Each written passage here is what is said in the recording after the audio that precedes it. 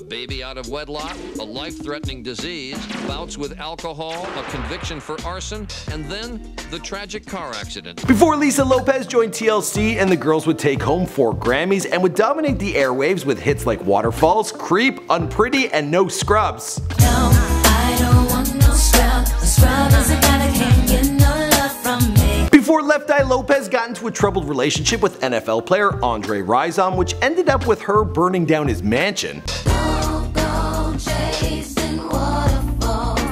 Before Lisa Lopes and TLC would become the biggest girl group in the world, selling 21 million copies of their album, bringing her net worth to an estimated $5 million. You claim that ain't a name to say your tongue.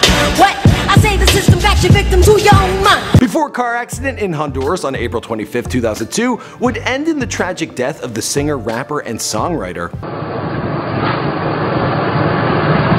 Lisa Left Eye Lopes was the driving and creative force behind the biggest girl group in the early 90s, but behind the scenes her personal life was not so hot. With the help of a destructive drinking habit and an abusive relationship, she almost took TLC down, and the group was facing bankruptcy. Together the three got back to work and blew the world away with their album Fan Mail and tour in 1999. TLC was back on top and Lisa was simultaneously putting her time and energy into promoting a solo career, until a horrific accident in Honduras ended it all. How did you get started in show business?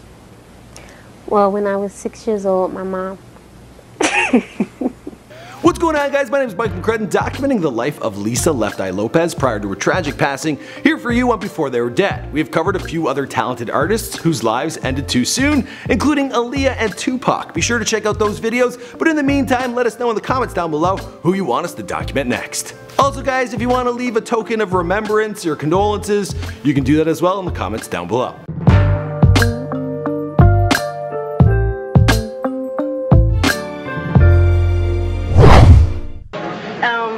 Just remember that y'all see me on this videotape. Ten years from now, y'all see me in the movies. Lisa Nicole Lopes was born on May 27, 1971 in Philadelphia. Her mother Wanda was a seamstress and her father Ronald a sergeant in the US Army. Her dad played a mean saxophone, piano, harmonica, and clarinet, and some of this talent clearly rubbed off on little Lisa. By the time she was five, well she was tinkering away on her toy piano and composing her own songs. My mother's side of the family is more artistically inclined.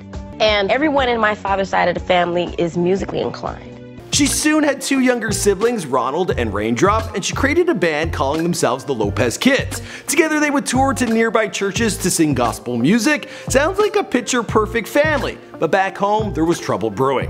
Her father was a great musician, but he was also an abusive alcoholic. He disciplined the kids like they were in the army and would sometimes hit their mom. This led to them divorcing two times and moving around constantly. When she was 19, her boyfriend told her about an open casting in Atlanta for a new girl group. She moved there with him for the audition and ended up landing the role, or the gig, or getting in the group, whatever. TLC. TLC's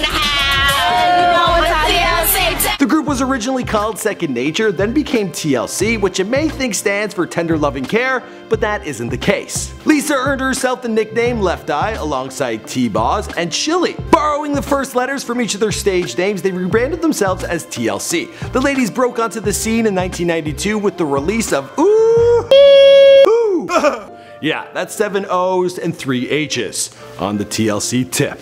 God, I miss the 90s. They ended up moving 6 million copies and had three singles climb to the top 10. Realize the realism of reality treats us both the same. Cause satisfaction is the name of this game. Left Eye quickly became known as the crazy outspoken one. She had no issues making bold statements, and she would wear condoms inside her sunglasses or eyeglasses. She was trying to support safe sex. I don't think that's how they work though. and you want to roll it all the way down your foot. And then you can put it inside your shoe. Their next release, Crazy Sexy Cool, came out in 1994 and sold 11 million albums, officially making them the biggest girl group in the world! Which must have given record labels an idea of what direction to move in because that same year the Spice Girls they were formed, and the Backstreet Boys the year earlier. TLC had three consecutive number one singles with Creep, Waterfalls, and Red Light Special, and were given their first Grammy.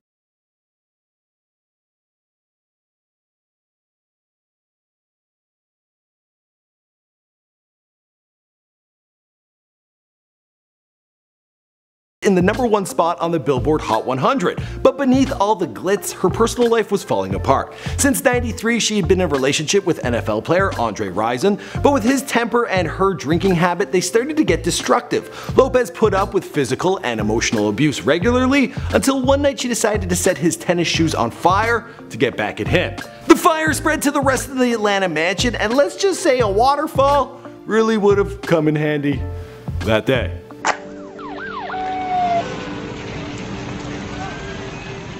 And, you know, I've been called crazy. Lisa didn't face jail time, but she was sentenced to 5 years probation. She also had to spend time at a halfway house, and then she was sued by Rison's insurance company for all his losses. That paired with the band's money being mismanaged, well that led to TLC and Lopes declaring bankruptcy. It would be a few years before the three would be able to get back on their feet again. In the meantime, Left Eye cut down on partying and went on spiritual retreats to the Honduras where she would meditate, fast, and focus on her health. It wasn't until 1999 they started recording their third album, Fan Mail, but already things started heating up in the studio. Lisa felt she had outgrown their style of music and publicly challenged T-Boz and Chili to make solo albums to see which of the three was the best. The two ladies never did deliver on that challenge, but luckily TLC moved on to release Fan Mail. A scrub is a guy that thinks he's flying this, also known as a buster. Yeah, yeah. I remember my scrub days hanging out the passenger side, living at home with my mama. I'm happy those days are behind me. The album was a success and led to the group's first headlining tour. Their final stop in Atlanta was even put on pay-per-view and brought in over $70 million, becoming PPV's most profitable TV special ever. Is it true that you guys work with NSYNC? I would have to say yes to that. TLC was on top of the world and Lopes was making appearances everywhere. She was featured on tracks by Melanie C and Sing, she was hosting award shows, posing for The Gap, and even getting a spot on Who Wants to Be a Millionaire. That's when you've made it. Yes, the 64. What? Back in the day, it was huge. You've earned yourself a nice tall glass of Seamoss. In the midst of all this, Lisa was working on that solo album just like she had promised, titled Supernova. It had incredibly personal tracks on it, including one for her late father, where she makes amends with him. Unfortunately, the lead single flopped and her album was never released in the States. Upset, she switched her solo label to Death Row Records after talks with CEO Suge Knight. She was gearing up for her second solo album and fourth with TLC, then she went to Honduras for one week healing retreat. During this time, she was vlogging her vacation, and her last few peaceful moments, well, they were caught on tape.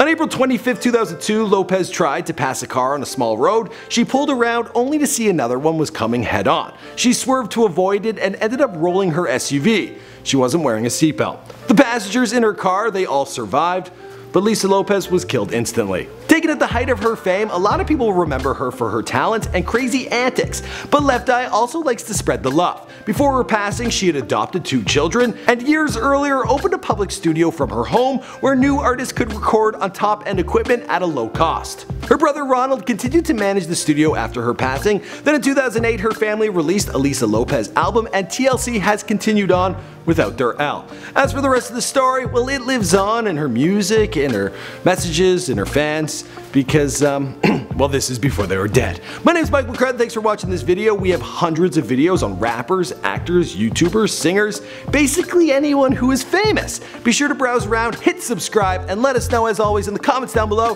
who you want me to document next.